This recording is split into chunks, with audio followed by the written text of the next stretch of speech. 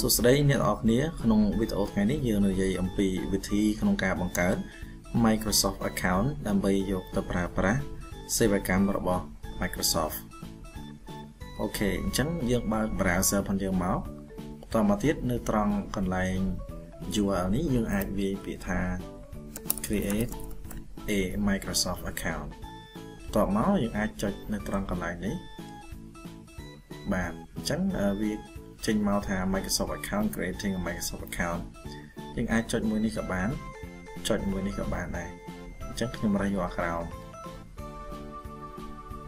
បាទអញ្ចឹងនៅពេលដែលចូលដល់ទំព័រមួយនេះ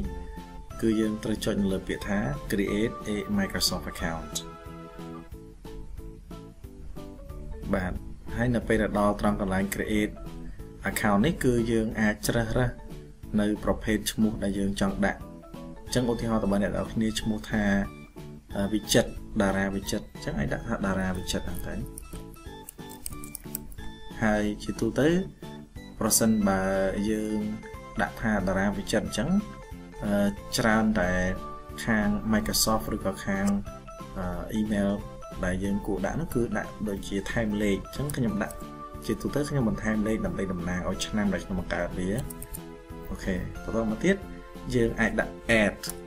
add ហើយយើងអាចដាក់ថា outlook ឬក៏ hotmail អូខេហើយចុច .com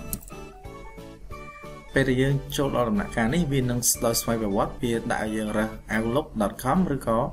hotmail.com អញ្ចឹងខ្ញុំឆ្លាញ់ hotmail ខ្ញុំដាក់យក hotmail តែបើសិនជាអ្នកគ្នាស្រឡាញ់ outlook អញ្ចឹងចុចលើពាក្យ outlook ហ្នឹងតែបន្តមកទៀតចុចលើពាក្យថា next បាទចូលដល់កន្លែងនេះគឺយើងដាក់ password ដែលយើងងាយចាំក៏ប៉ុន្តែខ្ញុំណែនាំឲ្យអ្នកទាំងគ្នាដាក់ password ដែលមាន ចំនួន8តួយ៉ាងតិចក្នុងនោះមានអក្សរតូចអក្សរធំហើយនឹងលេខឬក៏ជានិមិត្តសញ្ញាក៏ប៉ុន្តែគេមិនអនុញ្ញាតឲ្យយើងប្រើប្រាស់ជាភាសាខ្មែរទេអញ្ចឹងយើងដាក់ជាភាសាអង់គ្លេសទាំងអស់ណាបាទអញ្ចឹងអ្នកនរនេះដាក់ទៅអក្សរតូច បាទអក្សរធំតមកទៀតលេខអូខេបាទហើយចុច next ជាធម្មតា Chrome បើអ្នកទាំងប្រើ Chrome ឬក៏ប្រើ browser ផ្សេងទៀតវានឹងអាចសួរយើងថាតើយើងចង់ save ដោយស្វ័យប្រវត្តិឬក៏អត់ទេអញ្ចឹងបើយើងចុច save វានឹងជួយសម្រួលការងារយើងថ្ងៃក្រោយនៅពេលដែលយើងចង់ sign in គឺវាប្រកាសជា sign in ដោយស្វ័យប្រវត្តិអញ្ចឹងខ្ញុំខ្ញុំយកពាក្យថា save ទៅហើយរងចាំតិចសិនដោយសារតែអ៊ីនធឺណិតវារៀងខ្សោយបន្តិចអញ្ចឹងអ្នកនរគ្នាសូមរងចាំអូខេបាទអញ្ចឹងនៅត្រង់កន្លែងតានេះគេដាក់ថា please solve this puzzle so we know you are a real person អញ្ចឹងចុច verify មកហាក់នេះអញ្ចឹង select the image that is the correct way អញ្ចឹងមួយណាដែលជាសត្វ ដែលវាត្រឹមត្រូវនោះអានេះវាផ្ដេកអានេះវាអត់ត្រឹមត្រូវទេគឺមានតែមួយនេះទេបាទអញ្ចឹងចុចយកវាមកបាទអញ្ចឹងទៀតបាទមួយណាមួយនេះទៀតបាទអញ្ចឹងអាមួយនេះម្ដងបាទហើយមួយទៀតមួយណាដែលជាតម្រងសัตว์ដែលវាឈរឬក៏អង្គុយត្រឹមត្រូវណាបាទមួយទៀតបាទ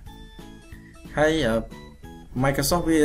ផ្លាស់ប្ដូរទម្លាប់នៅក្នុងការ verify នឹងច្រើនលើកច្រើនសារ អញ្ចឹងអ្នកនរគ្នាត្រូវធ្វើតាមមកទៅអូខេឥឡូវចប់សពគ្រប់ហ្នឹងបាទមានថាយើងបង្កើត account Microsoft នោះបានហើយអញ្ចឹងអ្នកនរគ្នាកុំភ្លេចមុននឹងបិទវីដេអូនេះកុំភ្លេចកត់នៅ email របស់យើងដែលយើងបានទៅតែបង្កើតមិញមិញហ្នឹងដើម្បីយើងយកទៅប្រើប្រាស់មួយទៀត password ក៏គួរតែកត់ដែរដាក់ក្នុងกระดาษណាមួយទៅបាទអញ្ចឹងអរគុណសម្រាប់ការតាមដានទស្សនាពីដើមដល់ចប់ ជួបគ្នានៅក្នុងវីដេអូក្រោយៗទៀតបាទអរគុណនាំមកជូនលោកអ្នកដោយ Crystal D Empire